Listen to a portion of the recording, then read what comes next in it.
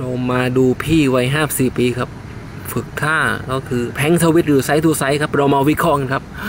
ก็ส่วนตัวเนี่ยครับ ผมดูครับ ยังก็คือหลังมันแอ่นไปนิดนึงสังเกตไหมครับ ก็จะต้องล็อก เดี๋ยวต้องฝึกท่า plank elbow ครับ